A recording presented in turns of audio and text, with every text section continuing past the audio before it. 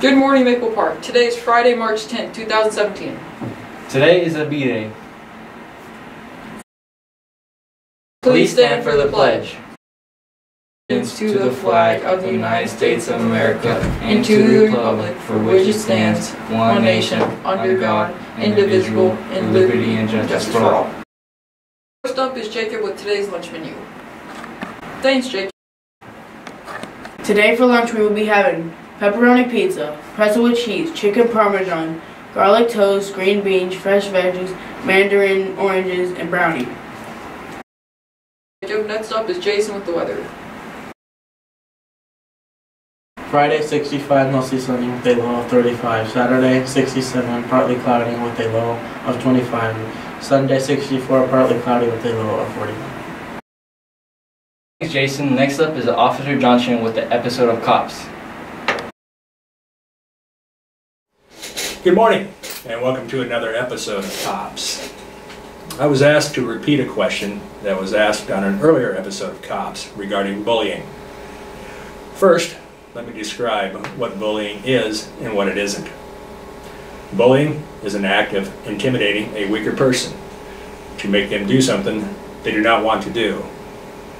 It's a repeated confrontation displayed by an individual who wishes to impose his or her will over someone, someone who in their eyes are weaker. What bully is not is that occasional disagreement between individuals who may not see eye to eye, who don't agree and express themselves inappropriately. I use the acronym RIP to help me remember. R stands for repeated, I stands for intentional, and P stands for power. So for an incident, incident to be considered bullying, all three must be present. And if you are truly being bullied, what should you do? First, stand up for yourself. Tell them no, and then report it. And if you see someone being bullied, stand up for them.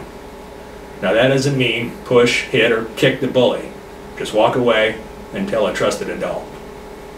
And just as a reminder, the North Kansas City School District has a zero tolerance for bullying. Now I hope this clarifies the definition of bullying.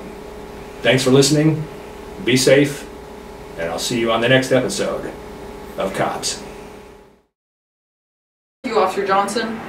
Next up is our sock puppets.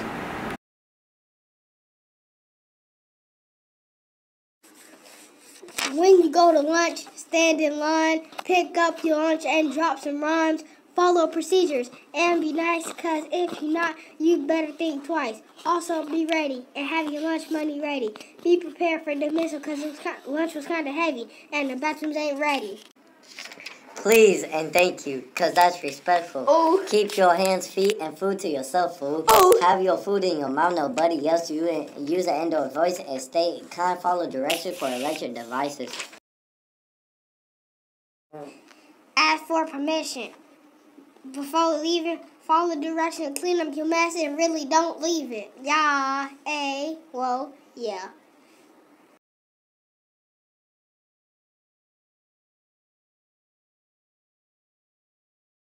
Our fourth episode of MPTV of 2017. Remember to be ready, respectful, responsible. Bye. Bye.